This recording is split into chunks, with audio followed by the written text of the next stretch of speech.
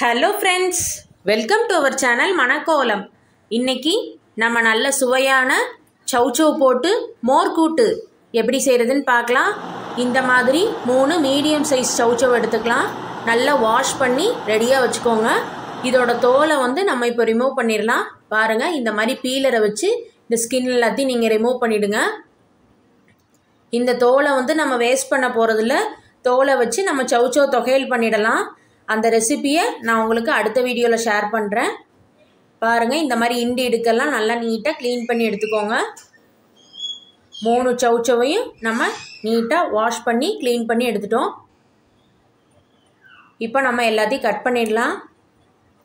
நல்லா இந்த மாதிரி சின்ன சின்னதாக கட் பண்ணி எடுத்துக்கோங்க.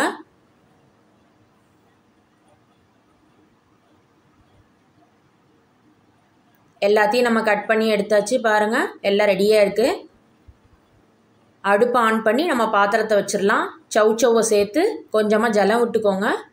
ஒரு கொதி வந்ததுக்கப்புறம் அரை டேபிள் ஸ்பூன் மஞ்சள் பொடி. தேவைக்கேற்ப கொஞ்சம் உப்பு சேர்த்துக்கோங்க. எல்லாத்தையும் நல்லா கலந்து விட்டுக்கோங்க. மஞ்சள் பொடி உப்பு எல்லாமே சௌச்சௌவோட சேர்ந்து வரணும். நல்லா மிக்ஸ் பண்ணி விட்டுக்கோங்க.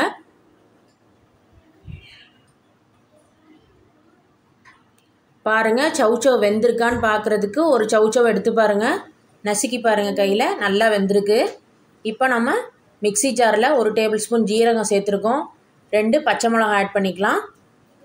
ஒரு மூடி தேங்காயை நல்லா சில்லு சில்லாக கட் பண்ணி வச்சுருக்கோம். அதையும் உள்ளே சேர்த்துக்கோங்க. இப்போது இதை நம்ம அரைச்சி எடுத்துக்கலாம். நல்லா மிக்சி ஜாரில் அரைச்சிக்கோங்க. இந்த மாதிரி பதத்துக்கு அரைச்சி எடுத்துக்கோங்க. நம்ம அரைச்ச விழுது எல்லாத்தையும் கொதிக்கிற சவுச்சவு கூட்டில் சேர்த்துடலாம்.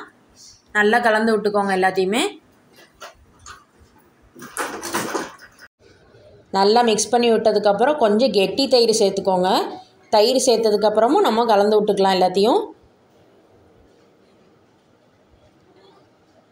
கூட்டு வந்து பார்த்தாலே சாப்பிடணும் போல் இருக்குது நம்ம தாளிக்கிறதுக்கு கடாயில் எண்ணெய் விட்டுருக்கோம். தேங்காய் எண்ணெய் ஒரு டேபிள் ஸ்பூன் கடுகு சேர்த்துக்கலாம். கடுகு வெடிக்க ஆரம்பித்ததுக்கப்புறம் கொஞ்சமாக பெருங்காயம் ஆட் பண்ணிக்கோங்க.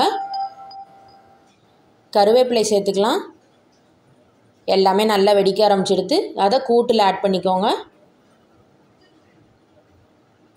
அவ்வளோதான் தாளித்தது எல்லாத்தோட கூட்டு ஒரு கொதி வந்துடுத்து இப்போ நம்ம ஸ்டவ் ஆஃப் பண்ணிவிடுவோம் அவ்வளோதான் சூப்பராக சௌச்சௌ மோர் கூட்டு ரெடி ஆகிடுது இந்த சௌச்சௌ மோர் கூட்டு வந்து சாதத்துக்கு சப்பாத்திக்கு எல்லாத்துக்குமே நல்ல சைட் டிஷ்ஷாக இருக்கும்.